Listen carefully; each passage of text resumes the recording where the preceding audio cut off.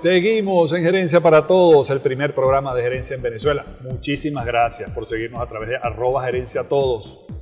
Hoy estamos conversando sobre seguros, sobre protección. Por eso nos acompaña la presidenta de la Cámara de Aseguradores de Venezuela, la doctora Alesia Rodríguez.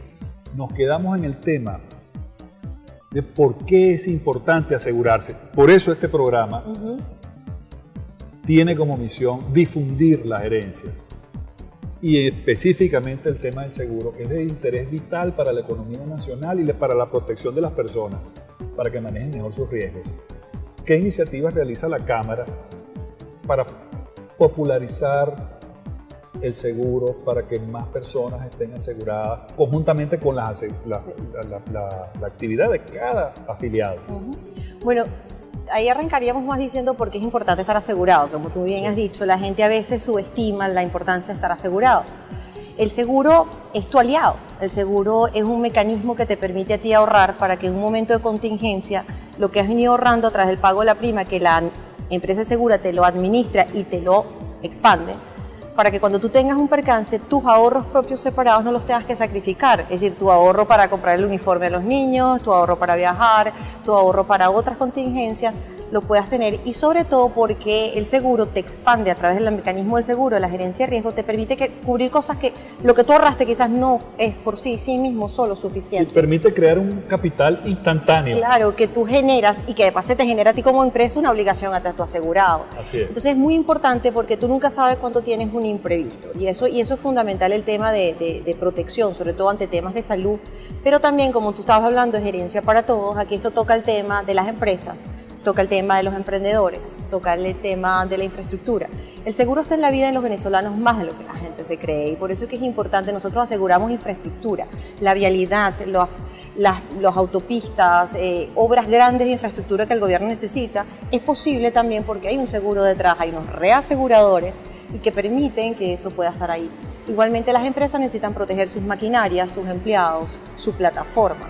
Entonces, el seguro es muy importante porque a la hora de una contingencia nosotros expandimos capacidad a través del ahorro que ustedes nos dan en el pago de la prima, invertimos y manejamos lo que es esa caja negra, por llamarlo de alguna manera, para el resto de la población, es, es que es un sector muy técnico y es cómo actuarialmente, la forma técnica, hacemos que ese dinero esté ajustado a ese riesgo. Y va a lo que tú me dices, el tema de los riesgos. Uno de los retos de aporte que el sector ha hecho es cada vez tratar de entender cada vez más los riesgos que, tienen los asegurados y por eso te resalté el estudio que hemos hecho sobre todo las necesidades de aseguramiento de la población de bajos ingresos y de toda la población en Venezuela. ¿A qué riesgo está enfrentado el venezolano?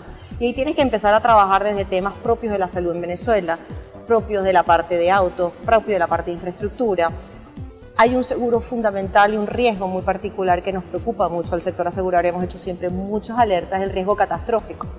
Los ciclos de temblores, el cambio climático, cumple ciclos y cada vez alertamos de que esos además son de magnitudes muy grandes. Recientemente han habido en el mundo varias catástrofes en este momento importantes que se están atendiendo y el rol de reaseguro y seguro es fundamental.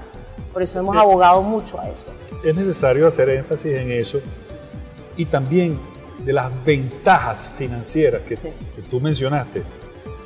En el caso sobre todo de las familias. A veces muchas familias se ven afectadas por no tener una póliza de seguro en su patrimonio fundamental, quizás por la enfermedad de un familiar o por la pérdida de su patrimonio si tiene un pequeño comercio y ese comercio por alguna razón eh, es afectado. Entonces, creo muy conveniente difundir la labor que hace la, Cámara de, de Aseguradores de Venezuela Quisiera saber también si están elaborando algún tipo de campaña o actividades para la población. Sí, nosotros siempre estamos tratando siempre de estar ahí en comunicación con, con la, población y con nuestros asegurados principalmente.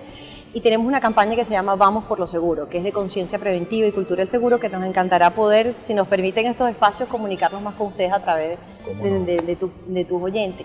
Porque el tema del seguro, por ejemplo, te doy un ejemplo que, que es evidente, es el funerario.